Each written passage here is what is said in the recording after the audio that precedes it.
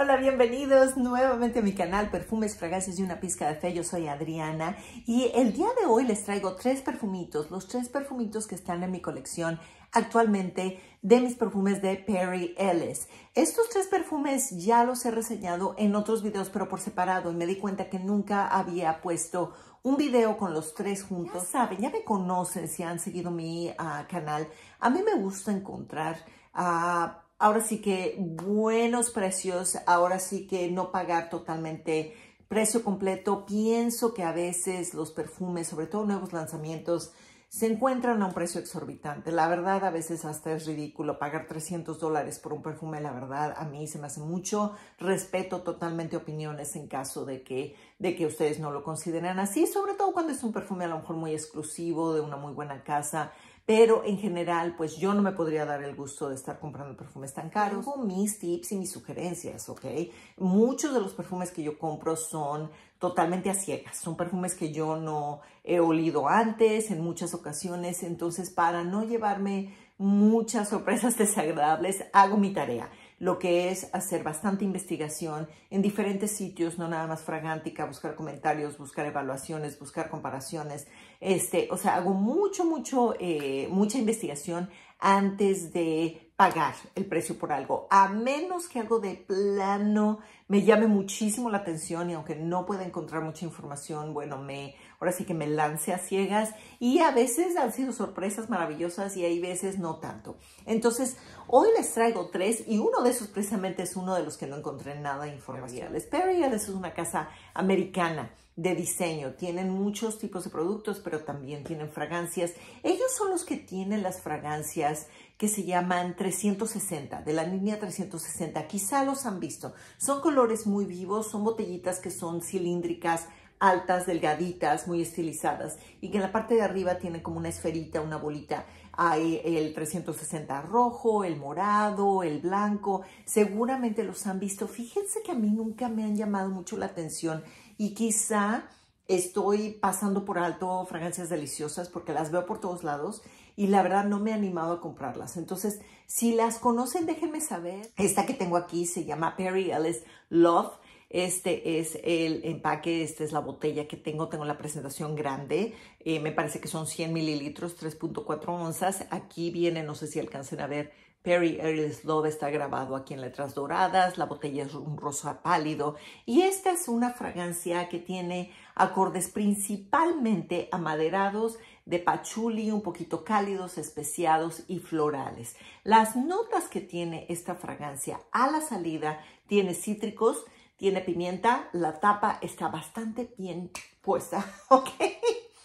En el corazón encontramos rosa, encontramos la flor de plumeria, encontramos también lirio de agua y en el, en el secado es donde encontramos la madera de sándalo, el pachuli, un poquito de vainilla, ciruela y almizcle. Esta fragancia es una fragancia muy linda. Esta yo no la consideraría una fragancia muy juvenil para un mercado muy, muy jovencito. Este tiene que ser un mercado a quien le gusten esas fragancias florales amaderadas con un poco de cítrico. Es una fragancia más por el lado, yo diría clásico, conservador, maduro, elegante. Muy, muy elegante. Una fragancia que de mucha, mucha clase y que se compara muchísima gente y yo me uno.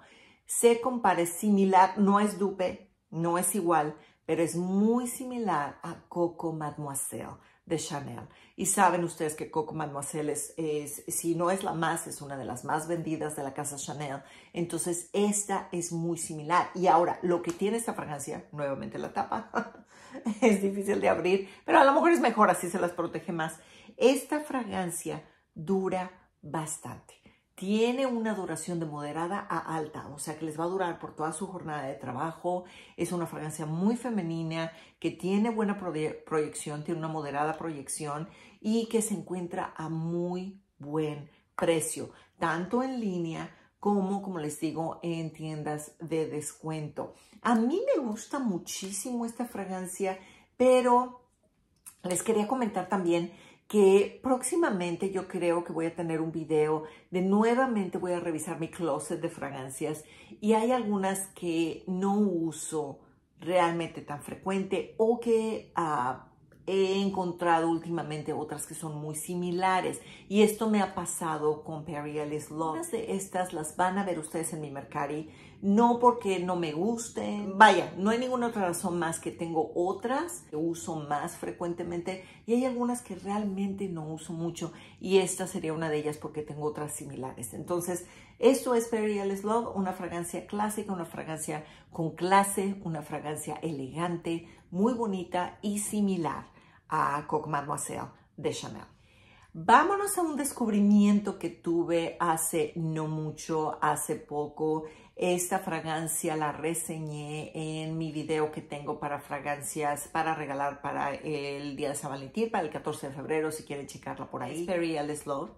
Y esta es Perry Ellis Sweet Love. No sé si alcanzan a ver un poquito el cambio de color en la botella. Esta botellita de aquí, Love, es un rosa pálido. Este es un rosa mucho más intenso en la botella. Esta, la verdad, fue de esas compras a ciegas. ¿Por qué? Porque no se encuentra nada en internet. Sitio de Perry Ellis, ni en Fragantica, ni en ningún lado. La encuentro en venta en algunos sitios como lo que es eBay, pero quieren una cantidad exorbitante por este perfume. Entonces, no, no se lancen a comprarlo carísimo. Hay gente que está pidiendo hasta 100 dólares por este perfume. Me imagino que la razón es porque está descontinuado y entonces es muy difícil encontrarlo. Perry Ellis Sweet Love es una fragancia mucho más accesible, mucho más amigable para un mercado mucho más grande. Definitivamente un mercado floral, un mercado al que le gusten las flores, Ah, como decía yo en el otro video, encuentro yo eh, rosa definitivamente, quizá un poquito de magnolia, algo de cítricos y debe de tener algún tipo de madera al final.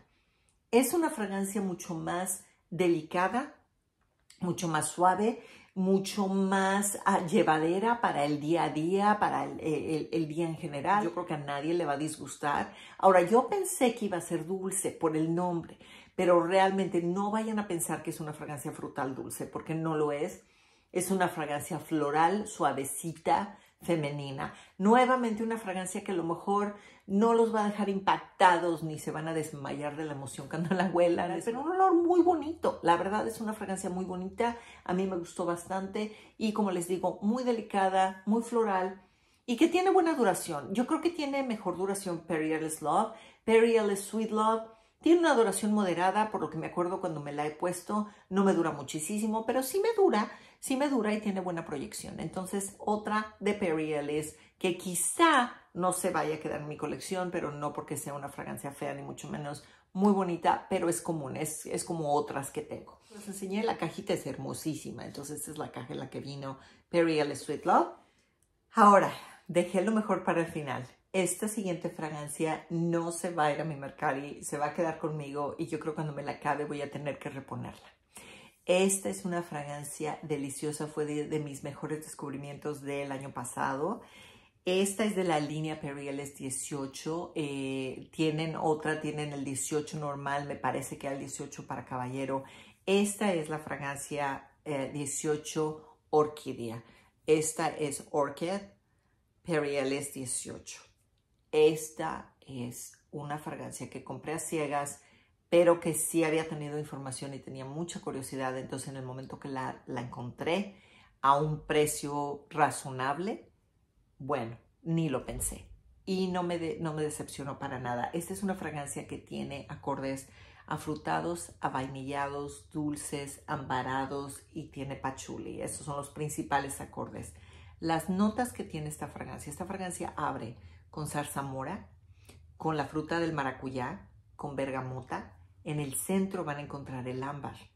Entonces el ámbar no se queda al final, el ámbar luego, luego eh, este, sale con jazmín floreciendo en la noche, así es como vienen las notas, y cierra con abatonca, con vainilla y con más pachuli, con hojas de pachuli.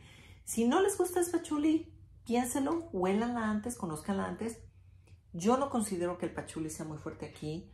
Mucha gente a la que no le gusta la nota de pachuli, esta la encuentran definitivamente maravillosa porque no es un pachuli fuerte, no es un pachuli eh, terroso ni sucio, es un pachuli rico. Y luego con esa zarzamora, esas frutas, es dulce, es un poquito cítrica, tiene una duración y una proyección maravillosa. Es una fragancia realmente súper deliciosa. Es una fragancia que es dulce, pero no llega a ser un dulce ah, demasiado intenso que sea molesto. Es un dulzor elegante, es un dulzor muy bonito. Definitivamente una fragancia maravillosa. Esta a mí me gustó mucho, me dejó muy, muy, muy contenta con mi compra. Se le compara un poquito con la. Mm, no sé si estoy de acuerdo con eso. La Vie Belle tiene un aroma delicioso, pero para mí la Vie Belle es demasiado intensa, es demasiado fuerte. Esta no. Se parece un poquito a Mon Paris de Yves Saint Laurent. Se parece un poquito a Euphoria, la original de Calvin Klein es como una mezcla, es como una, mezcla de Mon Paris con ese dulzor y luego un poquito de euforia con esa clase y esos, esos florales. Es una fragancia definitivamente deliciosa. Realmente, de las tres que tengo de Periales, esta va a ser con la que, con la que definitivamente me quedo. Se las recomiendo. Se encuentra en línea de manera fácil, relativamente fácil. En algunas tiendas se vende bastante bien. Se encuentra de repente en tiendas de descuento. Entonces, una fragancia sumamente rica. Esto es Perry Ellis 18 Orquídea. Deliciosa. Cerremos ahora con nuestra pizca de fe. Ya había yo hablado antes un poquito de esto, de ah, lo que son las prioridades en nuestra vida. Y cómo cuando tenemos muchísimas prioridades, que todos en general usamos la palabra prioridades en plural, entonces realmente no podemos ahora sí que lograr todos nuestros objetivos porque son demasiadas prioridades. ¿A qué me refiero? Cuando llegan los niños de la escuela cuando llegan ustedes de trabajar y los niños están en casa, ellos son su prioridad, su familia, entonces demandan esa atención, ¿no? Mamá, mamá, mira, mira, mira, mírame. También llegamos de trabajar el esposo demanda la atención. Su esposo pues también es una de sus prioridades, ¿no? La economía, el a lo mejor checar las cuentas, checar los gastos, el que ya no hay leche en el refrigerador. Nuestro trabajo debe ser otra prioridad porque pues sin trabajo entonces no hay ingreso, ¿verdad? Entonces tenemos que darle una cierta prioridad al trabajo. Las amistades, pues siempre dicen, oye, haz, de tus amistades una prioridad porque si no, bueno, te quedas sin amigos. Hay tantas prioridades en, en la vida el teléfono, el checar Facebook, a lo mejor el checar el último video en YouTube. Esas son prioridades que tenemos, pero nuestro error es que la palabra prioridad debe de ser singular, debe de ser solo una, porque si no, entonces cometemos el error de que ponemos todo en la misma categoría de prioridades y nos abrumamos con tantas cosas que hacer. Cuando cambiamos de muchas prioridades a una, ¿y cuál debe de ser esa? Hacer la voluntad de nuestro Dios.